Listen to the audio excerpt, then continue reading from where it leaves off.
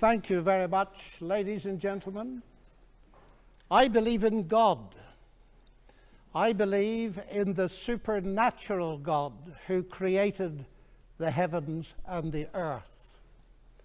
I believe in a God who holds the heavens and the earth in existence. I believe that on the basis of rational evidence, similar to the beliefs held by the founders of this house, who gave this university the motto Dominus Illuminatio Mea. They saw no contradiction between faith in God and the utmost excellence in rational inquiry. And if I dare mention my alma mater of Cambridge in this holy place, I would remind you that on the door of the Cavendish Laboratory in Cambridge are written the words, Great are the works of the Lord, studied by all who delight in them. And as we look at the rise of science in the 16th and 17th centuries, Alfred North Whitehead and many others commented that men became scientific because they expected law in nature, and they expected law in nature because they believed in a lawgiver. So, ladies and gentlemen, I'm not ashamed of being both a scientist and a Christian because arguably Christianity gave me my subject. What I am amazed at is that serious thinkers today continue to ask us to choose between God and science. That's like asking people to choose between Henry Ford and engineering as an explanation of the motor car. When Newton discovered his law of gravity, he didn't say, I've got a law, I don't need God. No, he wrote the Principia Mathematica, arguably the greatest work in the whole history of science. Because he saw that God is not the same kind of explanation as a scientific explanation. God doesn't compete agency does not compete with mechanism and law. Why is there something rather than nothing? Allan Sandage, the brilliant cosmologist who became a Christian in his 50s, said God is the answer to that question. But people are now so desperate to show that the universe created itself from nothing which seems to me to be an immediate oxymoron. If I say X created Y, I'm assuming the existence of X to explain the existence of Y. If I say X created X, I'm assuming the existence of X to explain the existence of X, which simply shows that nonsense remains nonsense even if high powered scientists utter it. It reminds me a little bit of G.K. Chesterton, who said, It is absurd to complain that it is unthinkable for an unthinkable God to make everything out of nothing, and then to pretend that it is more thinkable that nothing should turn itself into everything. The heavens declare the glory of God, says the ancient psalm. And we've unraveled a bit of that, seeing the fine tuning of the fundamental forces of nature. It's something that's so striking to scientists that it demands explanation. And it seems to me that Arno Penzias hit it right. He is the Nobel Prize winner who discovered the microwave background on which a lot of the evidence for the Big Bang is based. He said astronomy leads us to a unique event, a universe which was created out of nothing, one with the very delicate balance needed to provide exactly the right conditions required to permit life, and one which has an underlying, one might say, supernatural plan. But I want to come to what I think is one of the fundamental arguments for theism. I take it this house believes in reason. That's why we're all here. And as a scientist, I believe that the universe is rationally intelligible. That is something that has struck some of the geniuses of science as demanding an explanation. Einstein said the only incomprehensible thing about the universe is that it's comprehensible. And Wigner talked about the unreasonable effectiveness of mathematics. How is it that a mathematician thinking in her head in here can come up with equations that seem to fit the universe out there? Well, how is it indeed? Because the irony of the atheist position here is evident. My atheist friends, and I have many of them, tell me that the driving force of evolution, which eventually produced our human cognitive faculties, reason included, was not primarily concerned with truth at all. But with survival. And we all know, ladies and gentlemen, what has often happened and still happens to truth when individuals or commercial enterprises or nations feel themselves threatened and struggle for survival. Leading philosopher, Alvin Plantinga of Notre Dame, says if atheists are right that we are the product of mindless, unguided natural processes, then they have given us strong reason to doubt the reliability of human cognitive faculties, and therefore inevitably to doubt the validity of any belief that they produce, including their atheism. Their biology and their belief in naturalism would therefore appear to be at war with each other in a conflict that has nothing at all to do with God. Yet my atheist friends still insist that it is rational for them to believe that the evolution of human reason was not directed for the purpose of discovering truth. And yet, it is irrational for me to believe that human reason was designed and created by God to enable us to understand and believe the truth. Curious logic. By contrast with that, biblical theism asserts that ultimate reality is personal and intelligent. And the reason science works, and this was the motivating force that drove the great pioneers of science, is that the universe out there and the human mind in here that does the science are ultimately the product of the same intelligent divine mind. Human beings are made, we are told, in God's image. And that means that science can be done. That makes infinitely more sense to me as a scientist than atheism does. Now, let me come briefly to ethics. Ethical behavior, like rational behavior, of course, does not itself require religious belief.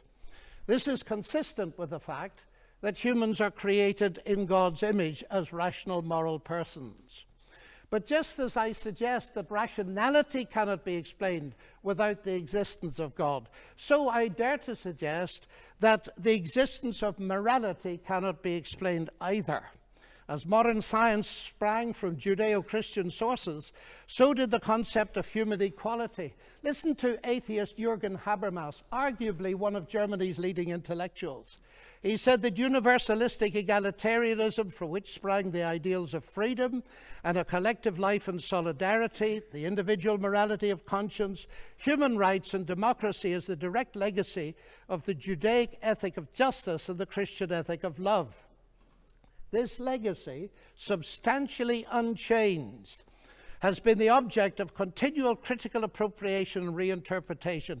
To this day, there's no alternative to it. Everything else is just idle postmodern talk. And it seems to me he's hitting the core of something important. Because the value of a human being on which such egalitarianism rests is based not on what the human being can do, but what she's made of, or how she's made in God's image. I never forget speaking when, on one of my many visits to Russia uh, to a colleague in the Academy of Sciences. And he said, You know, John, we thought we could abolish God and retain a value for human beings. We found we couldn't. And we murdered millions of them. And Alexander Solzhenitsyn has said, If I'm asked, why is it that 60 million of my fellow countrymen were sacrificed? He said, The answer is, we have forgotten God. Science, of course, marvelous as it is, is limited. Even a Nobel Prize winner, by analyzing a cake, cannot tell why it was made. But Aunt Matilda, who made it, can tell you. She can reveal it to you. But if she doesn't reveal it to you, you'll never know. And that brings me to be my next evidence. It's the same with the universe. We can analyze it magnificently. But ultimately, if it has a maker, and I believe it has, only he can tell us what it's all about.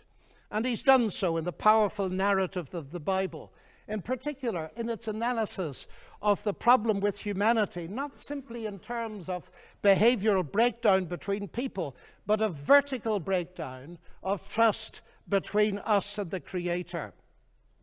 The unique solution to that problem is not simply in terms of human ethical development, although that's very important, but in terms of something far deeper uh, altogether the restoration of the fractured relationship with God through the salvation he has brought through Jesus Christ.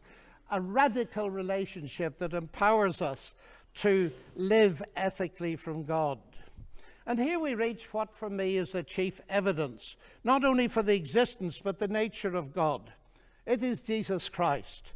He it was who not only taught the golden rule, but embodied it, fed the hungry, healed the sick and suffering, and welcomed society's outcasts, brought honor and respect to the marginalized and ashamed. And he's brought forgiveness and peace to multi millions uh, around the world. He's able to do this, of course, because though he was a man, he uniquely never was only a man, but God become human. The central evidence for this startling claim is, of course, his historical resurrection from the dead that launched Christianity in the world. This is, of course, ladies and gentlemen, a crunch issue. If Jesus rose from the dead, death is not the end and atheism is false. If Jesus did, rise, did, did not rise from the dead, Christianity is false. And I remember at Cambridge as a student listening to the brilliant Sir Norman Anderson a legal expert, going through forensically the evidence from his legal perspective as a, a, brilliant lawyer. And he said at the end of it, the empty tomb then of Jesus forms a veritable rock on which all rationalistic theories of the resurrection dash themselves in vain. Just finally, now, as I read the Bible, I do not only find intellectual satisfaction, but I find a great deal of that I sense the voice of God speaking to me. You say that's intensely personal. But, ladies and gentlemen, we've been asked tonight about belief in God. And I want to strongly emphasize that God is not a theory, He's a person. And if the origination of me qua person is a personal God, then the most exciting thing really is is there a possibility of getting to know God? And so I don't simply believe there is a God. I've come to know him and trust him. And I have strong reasons for doing so because of Christ dying and rising again for me. And that has generated in me a sense of utterly unmerited forgiveness, acceptance, and peace. That has enabled me to face the ugly side of my own nature and with God's help to do something about it. But it's enabled me to face something else. The hardest problem I face as a Christian is the problem of evil and pain. My niece getting a tumor at 22 that kills her. What do I say to my sister? And this is the hardest problem we face. But it seems to me that atheism here has no answer. Because by definition, atheism believes that human death is the end so there is no ultimate hope. But you see, ladies and gentlemen, we could stay here till midnight and beyond arguing, as has been done in this university for centuries. What a good God should, might, would, could, if not possibly might, just could he not have done, and we'll get nowhere. So it seems to me there's another question we can ask, and it's this. Granted that life is, presents us with a double picture, we see some beautiful things. We see some ragged edges. We see hurt and pain, and we see joy. How can we come to terms with that? And it seems to me here is no simplistic answer, but a window into an answer, and it's this. If it is actually true that Jesus is, as I believe him to be, the Son of God, then we can ask the question what is God doing on a cross? And the answer comes back at the very least God has not remained distant from our human suffering, but has become part of it. And the other side of that is this because Jesus rose from the dead, he is going to be the ultimate judge. Now, here's an irony because atheism has no ultimate hope of justice by definition. The vast majority of people in the history of the world have died without justice and will die without justice. And if death is the end, then of course they have no hope of ju ultimate justice. But the promise in the New Testament, guaranteed by the resurrection of Jesus, is that he is to be the judge in the coming day. So, ladies and gentlemen, those are some of the reasons why I believe that God is real and worthy to be trusted. Thank you.